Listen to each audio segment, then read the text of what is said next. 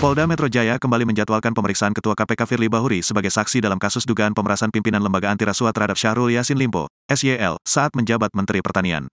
Namun, alih-alih diperiksa di Mapolda Metro Jaya Jakarta Selatan, Firly justru meminta penjadwalan kembali pemeriksaan dirinya oleh penyidik sebagai saksi dalam kasus itu dilakukan di Markas Bareskrim Polri, Jakarta Selatan, Selasa, tanggal 24 Oktober tahun 2023. Berdasarkan surat yang diterima penyidik Subdit Tipikor di Treskrim Suspolda Metro Jaya dari Firly pada Senin, tanggal 23 Oktober tahun 2023, pukul 21.40 waktu Indonesia Barat, pensiunan Jenderal Bintang 3 Polri itu meminta agar pemeriksaan dirinya sebagai saksi dilakukan di markas Bareskrim, bukan Mapolda Metro Jaya. Hal itu pun dikonfirmasi di Reskrim Suspolda Metro Jaya Kombes Ade Safri Simanjuntak. Dia mengatakan penyidik dijadwalkan kembali memeriksa keterangan Firly pada Selasa ini ini sekitar pukul 10 waktu Indonesia Barat yang pada pokok suratnya adalah memohon agar mengizinkan pemeriksaan atau permintaan keterangan terhadap Ketua KPK RI Saudara FB sebagai saksi dapat dilaksanakan pada hari Selasa tanggal 24 Oktober tahun 2023 pukul 10 waktu Indonesia Barat bertempat di kantor Bares Krim Polri, kata Ade Safri dalam keterangannya hari ini. Menindaklanjuti surat tersebut, kata Ade, pihaknya lantas berkoordinasi dengan Dirtipikor Bares Krim Polri untuk melakukan pemeriksaan terhadap Firly.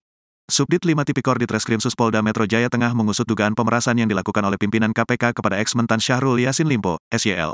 Kasus dugaan pemerasan ini telah masuk ke dalam tahap penyidikan berdasarkan gelar perkara pada Jumat tanggal 6 Oktober. Dalam kasus ini, penyidik menggunakan pasal 12 huruf E atau pasal 12 huruf B, atau pasal 11 UU Tipikor Jo pasal 65 KUHP. Dalam kasus ini, polisi secara maraton telah memeriksa 52 orang saksi sejak surat perintah penyidikan diterbitkan pada tanggal 9 Oktober. Para saksi ini antara lain SYL, Kapolrestabes Semarang Kombes Irwan Anwar, tujuh pegawai KPK, dan lainnya. Pekan lalu, Polda Metro Jaya menyatakan tidak akan memberikan perlakukan khusus selama proses pemeriksaan Ketua KPK Firly Bahuri dalam kasus dugaan pemerasan pimpinan lembaga anti rasuah kepada mantan-mantan Syahrul Yassin Limpo, SYL. Diketahui, selain menjabat sebagai Ketua KPK, Firly juga merupakan seorang purnawirawan Polri dengan pangkat Komjen atau Bintang 3.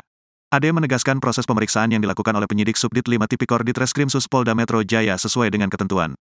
Firly sedianya diperiksa dalam kapasitasnya sebagai saksi oleh penyidik Polda Metro Jaya pada Jumat, tanggal 20 Oktober tahun 2023, pukul 14 waktu Indonesia Barat. Namun, yang bersangkutan meminta dijadwalkan ulang. Berdasarkan keterangan yang diterima dari KPK mengatasnamakan Wakil Ketua KPK Nurul Gufron pada pekan lalu, Firly beralasan tak bisa hadir ke Polda Metro Jaya karena sudah ada agenda yang tak bisa dilewatkan.